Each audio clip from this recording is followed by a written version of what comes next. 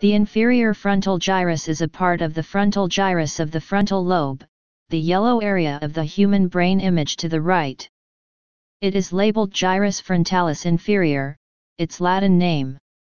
In the yellow area, its superior border is the inferior frontal sulcus, which divides it from the gyrus frontalis medius in the yellow area, its inferior border the lateral fissure, which divides it from the gyrus temporalis superior in the green area, and its posterior border is the inferior precentral sulcus, in the yellow area.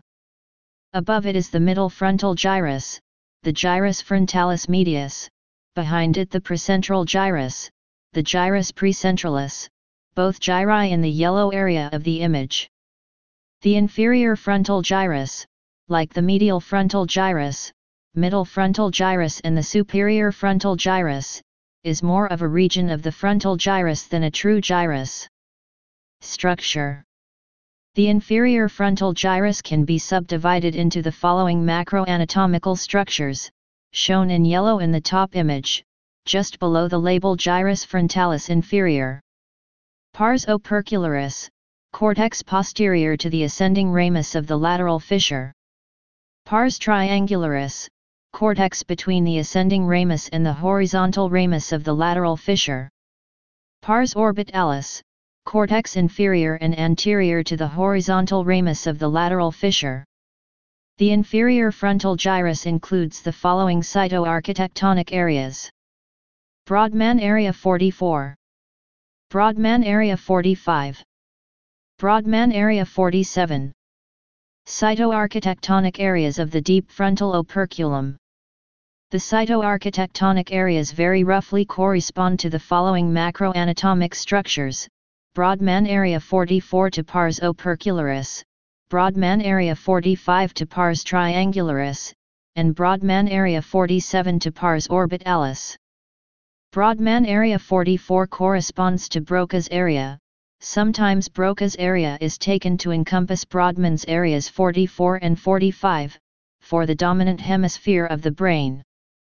Language processing The left posterior inferior frontal gyrus, PIFG, is a part of the articulatory network I involved in motor syllable programs.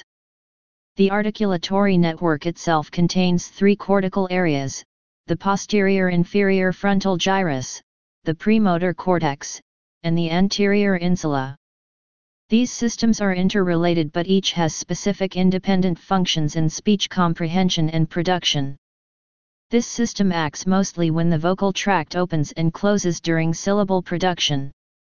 Considered a controller of the motor aspect of speech production, the PIFG does not directly interact with the vocal tract, instead, it acts indirectly through the motor cortex.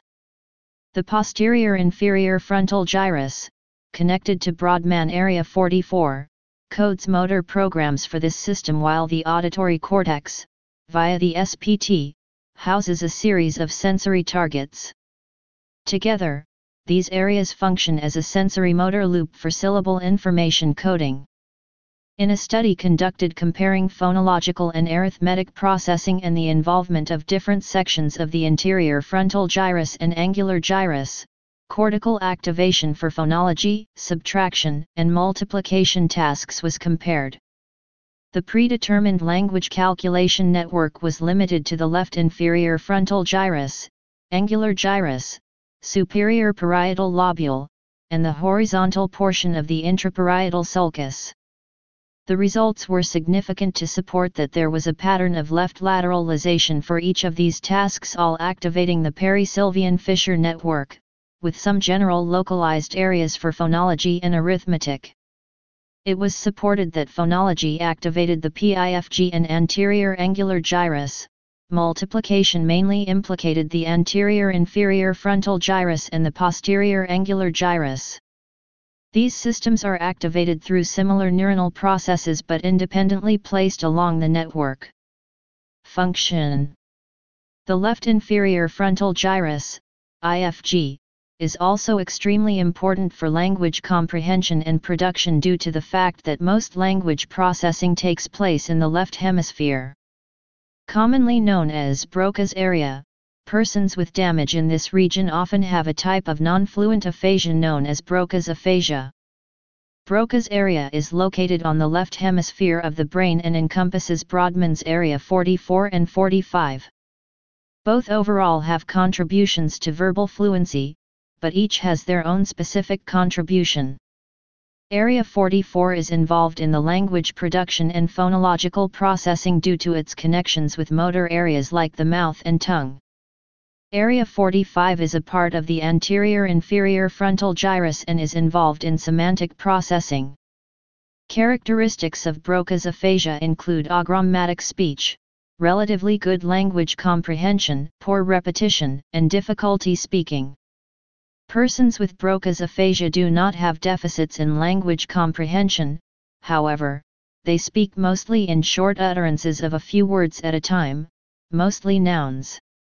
Their speech is limited to short sentences, and producing sound is a very difficult task for those affected. The left IFG has also been suggested to play a role in inhibitory processes, including the tendency to inhibit learning from undesirable information.